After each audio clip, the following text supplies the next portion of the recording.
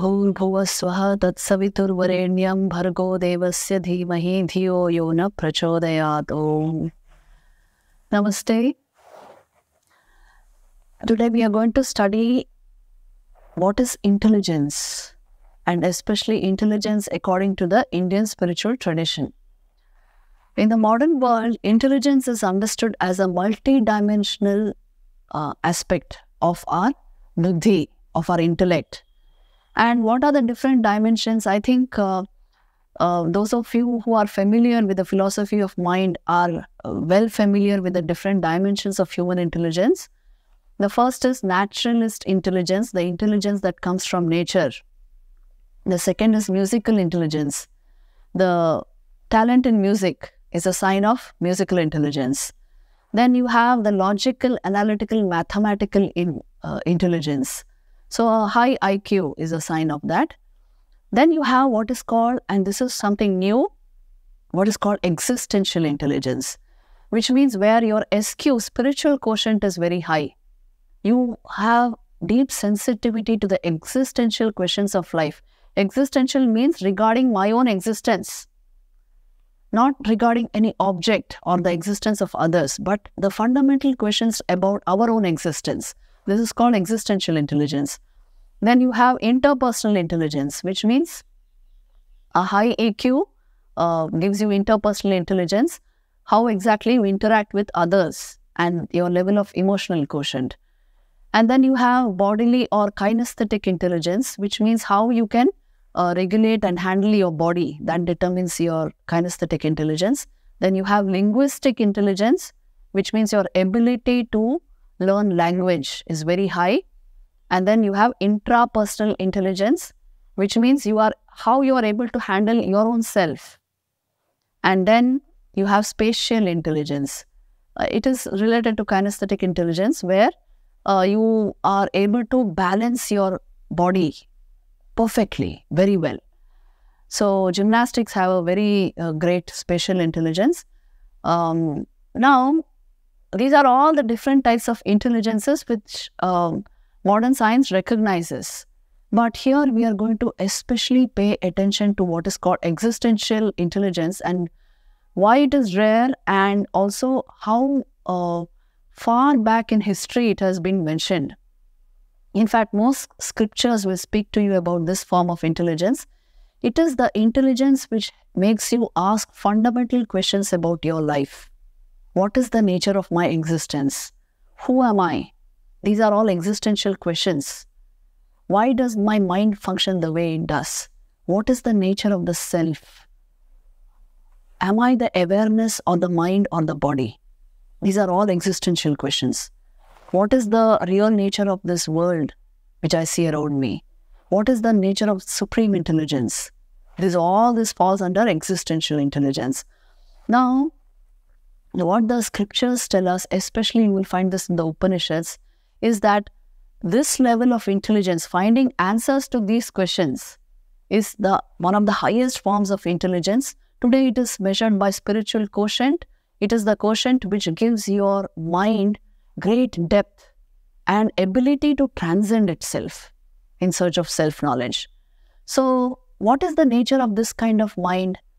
The nature of mind is, you know, the mind according to the Upanishads, is lit by consciousness standing behind the mind. The Atman, or what you call the soul, that is a unit of pure consciousness, and due to the its effulgence, due to the light of awareness it exudes, it lights up the mind and makes the mind conscious. So the clearer the mind is, the purer it is, the more it will become aware, more conscious. And this is spirituality. So the mind, as it were, perfectly reflects what is behind it. As a result, you get knowledge of the self. So the ability of the mind to reflect awareness, pure awareness, is called existential intelligence. Usually, the mind which is completely untrained, impure, will deflect awareness or it will, you know, bypass awareness or it will block awareness altogether. The tamasic mind will do that. But a very sattvic, cultured, spiritual mind, which is capable of existential inquiry, will become so transparent and pure. It filters or allows the light of consciousness through it, and as a result, it sparkles. And because it can reflect that light, that the level of intelligence or awareness of that mind is very high.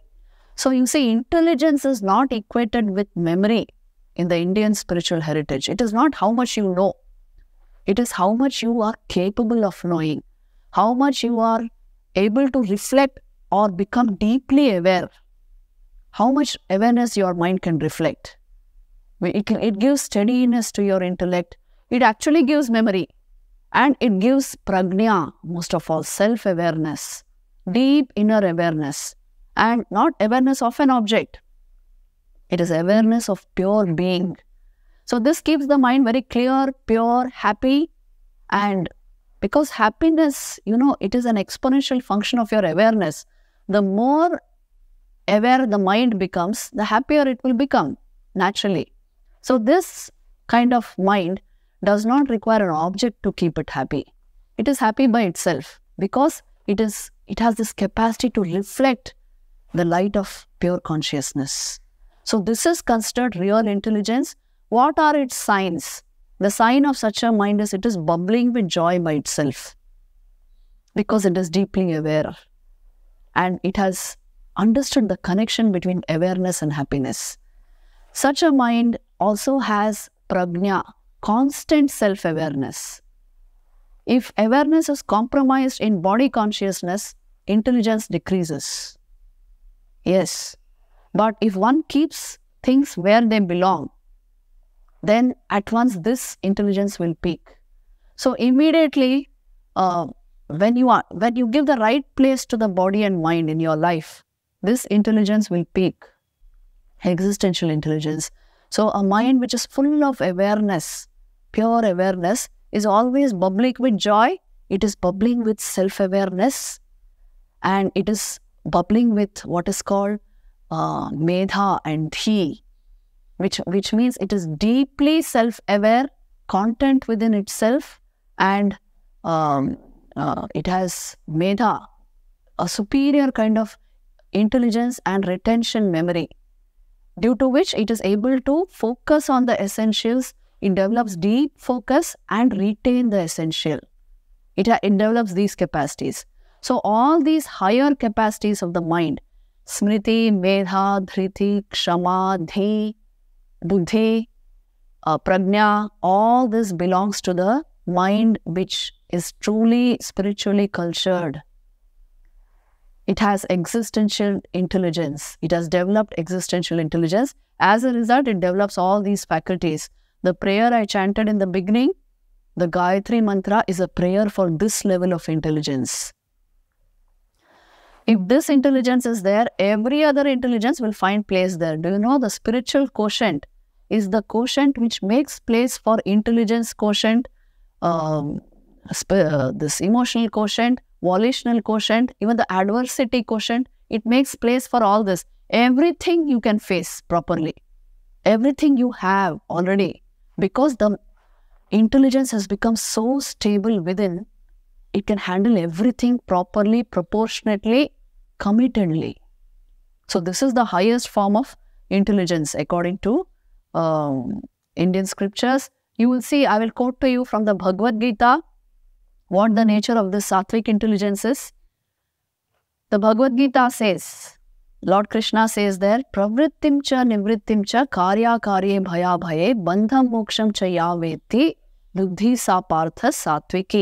That buddhi or intelligence is considered sattvic, which is able to clearly make the difference between right action and improper action, between duty and non-duty, between what is to be feared and what is not to be feared, between what is binding and what is liberating. See, the deep sense of proportion, inner balance, and discrimination, Vivek, philosophical discrimination, has come into that mind because of its inner steadiness. And what is the nature of the Rajasic Buddhi? The Buddhi which filters very little awareness. What is its nature? Yaya dharmam adharmam cha karya karya uh, karyam cha karyam eva cha ayathavat prajarati buddhi sa rajasi. that intellect is considered uh, to be rajasic, which is in the mode of passion and hence gets confused between righteousness and unrighteousness and cannot distinguish between right and wrong also. Why? Because it is it lacks vivek, because it is able to filter out very little awareness. It is jaded in a sense, confused. And as a result, it is not able to make this clear vivek. And action follows thought, isn't it? According to your vivek will be your action. So this is the nature of the Rajasic Buddhi. And the nature of the Tamasic Buddhi also is spelled out in the Bhagavad Gita. What is its nature? That Buddhi which is brushed, which is absolutely corrupt, because very little light of awareness is filtering out through that intellect. So its nature is adharmam dharmam itiya manyate tamasavrita sarvarthan viparitanscha buddhi sapartha tamasi. So that intellect is shrouded in darkness or tamasic, which imagines. What does it imagine? Sarva, uh, dharmam is adharmam and adharma is dharma. What is righteous conduct, it sees as unrighteous. What is unrighteous conduct, it sees as righteous. Characteristic examples are there, Duryodhan, even Mother Kaikeyi in the Ramayana. At one point, she suffered that. Um, she could not see what is righteous conduct in a particular context. So, and Sarvarthan Viparintanscha, they see everything in an opposite, deluded manner. They perceive truth to be untruth, untruth to be truth, right to be wrong, wrong to be right. Everything is opposite. So, this kind of buddhi is stained with tamas. And this intellect is of very poor capacity and it will not give you any form of right decision or happiness. Because you know, action follows thought. So, when the thought itself is like this, the action will naturally be wrong. And as a result, a person suffers.